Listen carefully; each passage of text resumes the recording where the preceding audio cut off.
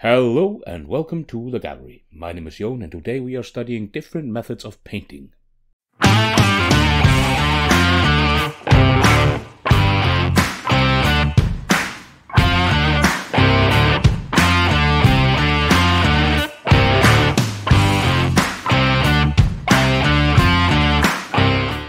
Now this time around we'll be using three Stormcast Eternal shields as our canvases. We're going to start out really simple, utilizing contrast paints and undercoats. So let's just dive right into that. Now, like I said, this is gonna be the really, really simple method. We are basically just using contrast paints for this method. We're gonna start out with a Grey Seer undercoat and then we are just going over that with the contrast paint Talassar Blue. Now, because this is a curved shield and not many recesses, this is gonna look fairly wonky, but of course you can use this on most models that of course have a little bit more recesses and it will look better. However, to counteract that recesslessness, we are adding another layer of Talassar Blue and that'll smooth it out ever so slightly so it doesn't look as bad. Uh, the main thing is to watch your brushstrokes and once you've painted over some bit, don't go over it again just yet so it gets a little bit better. And of course over the trim we are going with just a gold paint. This is Retributor Armor We're just painting that simply on and after we've painted that on of course watching not to go into the blue because fixing up contrast paints can be a hassle we are adding the Guilliman Flesh contrast paint over top the gold bit so it'll look a little bit more shiny well not more shiny has a little bit more depth to it and that is the really simple method you could use this for bigger bigger units for whatever armors you want, or just for trims and armor plates. And it'll be done really quickly, but of course, you're not getting a fairly complex method out of this. This has colors, a little bit of depth, but not overly much. Now that we've done the really simple method, let's uh, add a little bit of complexity to it, but still going really, really simple. And now, this time around, no uh, contrast paints, but more shades and dry brushes. Now we're entering a slightly more complex territory, but still quite simple. This is more in line with the classic uh, GW painting method, where we put down a base coat, then we add a little bit of shade, and then we add a little bit of highlight. So that's basically exactly what we're gonna do. We start out with Kantor Blue, we're base coating that all over the shield, and then we're gonna wash the shield with Nuln Oil, like every video everywhere tells you to do. Well, not really. And this method is mostly used for your basic troops. This is the usual method. It is quick and it is simple and it looks okay. So we start out with the Kantor Blue and we put the shade over and then we're going to find our mid-tone again with layering Kantor Blue over the shaded areas and keeping the shade in the recesses. And you can't really fault this method. It looks okay and for bigger troops it looks fine. Then we're going to take a little bit of Thousand Sons blue and we're just dry brushing that over the blue bits. Now we get a little bit of quick and easy highlights, we get those quick and easy shadows, and we get that nice and easy mid-tone. And that's the blue basically done. Now we're starting out with the trim and with the gold, and now we start with uh, Retributor Armor as the base coat for the trim. It's basically the same method we used earlier for the, for the blue. Base coat, shade, highlights. Couldn't be simpler. Uh, we put down all the gold with the Retributor armor, and then we're going to add Reikland Flesh Shade over all the gold, and then afterwards we're going to dry brush a little bit of Liberator Gold over it, and once that Liberator Gold is dried, it doesn't take that long a time because this of course is dry brushing, then we're going to add a quick and easy dry brush of silver on top of that. And of course, the reason why we're putting the silver on top after that gold dry brush is to get that higher shine to it. Now, this is, like I said, we're using these shields for this, but you can, of course, add this to whatever you want, be it gold, bronze, silver metallics, be it red, green, blue, orange, purple, lilac, whatever color you want. This method works for every different color scheme. So we're using the blue and gold because it fits the shields very well, but this method can be added to whatever color scheme you want. And in, of course, all the methods can be added to whatever color scheme you want.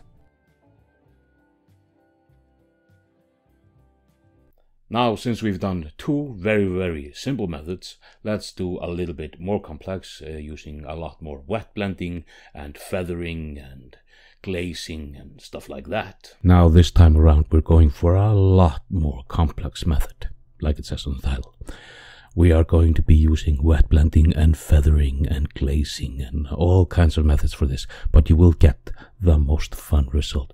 We're starting again with Kantor Blue, but we're not base coating the entire shield. We're just finding our shadow recesses. Then we are going and wet blending a little bit of Thousand Sons Blue mixed with Kantor Blue into that. And now we're also mixing in a little bit of Temple Guard Blue into that wet blue paint we already have, just to get that solid, multicolored, well, multi-toned base coat on the shield. After these three different colors have been mixed and are looking somewhat okay, there will be a little bit of lines in it. It won't look perfect. We're going to start glazing the colors together. Both the lighter colors and the darker colors. We're going back and forth, taking whatever is dry, uh, what area is dry, and start glazing to find mid-tones, and this will give us the color. The glazing bit is used with a fairly thin paint, and we have to be careful where we're pulling the paint so droplets and streaks won't turn up. Once we're getting a little bit more satisfied with how the main color is, we're gonna start working a little bit higher highlights. And again, we're using Temple Guard Blue mixed with a little bit of white, and we're glazing that in getting that sharper light on the shield. And of course, it's gonna start out looking rough. We're in the ugly phase, but we will find the nice phase. It just takes a little bit of time, takes a little bit of patience, and I would definitely not recommend this for an entire army. You will lose your mind because this is a lot of work. Just this little shield takes a lot of time. And of course, on the recess side, on the shade side of this shield, we're also glazing a little bit of light just to have that hint of a curve. And then a little bit of edge highlighting with white mixed with ever so slight amount of blue just to get a little bit of shine on the bottom and a little bit of shine in the middle where the light is breaking on top of the curvature of the shield.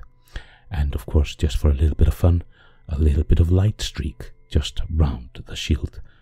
It's just to add a little bit of flavor to that small thing. For the shadows, we're adding a little bit of more darkness. This is really watered down matte black. And we're just putting that a little bit around where we want a little bit deeper shadows. Just to give it a little bit more depth, a little bit more interest. Now for the trim, we are starting with a darker gold than we have before. This time we're using Balthasar gold and we're going over the entire trim with that and the hammer. Sorry if the video is not perfect, I took the shield out of frame to paint it. So this is all I got out of that. So we're starting with Balthasar Gold, we're putting that on the shield, uh, on the trim and on the hammer, and then we're going to work our way up from that. Next we're going to take a little bit watered down Retributor armor, and we're just going to put that where we want more highlights on the gold. A little bit on the front, on the right, where we have the highlights from the blue, be thinking about where you're getting your highlights in. This is like an NMM version of TMM. So we're working the gold uh, like we would be working flat colors. And after we've gone a little bit with the gold, uh, with the Retributor armor, we're going to add Liberator gold to get a little bit more highlight on it. And then after that, we're going to add a little bit of the Vallejo silver, the air model, air paint. It's awesome to paint with and we're mixing it together on the wet palette so we're getting tones between the colors. So we get something really really really shiny and interesting and not just a flat line. And we're glazing we're using thin layers. That's the main idea about this. This method like i said takes a lot more time than the other methods but it looks great. This would be perfect for your bigger bottles for your generals for your heroes and of course, like the other methods, you can use this on pretty much any unit you want, just change other colors. Silver, different tones of silver. Brass, different tones of brass with a little bit of red in them. Blue, different tones of blue, different tones of green. All of those different colors, this method works wonders and you just have to change what color you're using.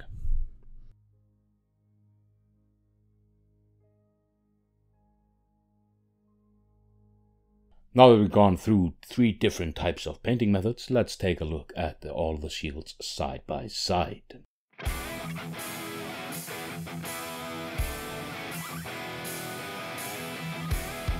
And here we have the three shields side by side.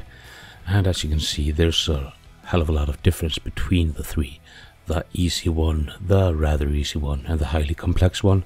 They are quite different and, in my opinion, the middle one, the somewhat easy one, that's the most comfortable one to put on your army, and the highly complex one for your main units.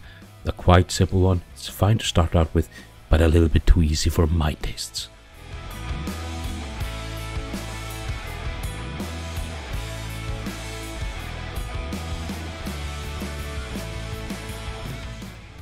Thank you very much for joining me here today. There are links in the description for all kinds of stuff, social media and various tidbits. You do with it what you will. Like, share, subscribe. Don't shield it from others. But until next time, farewell.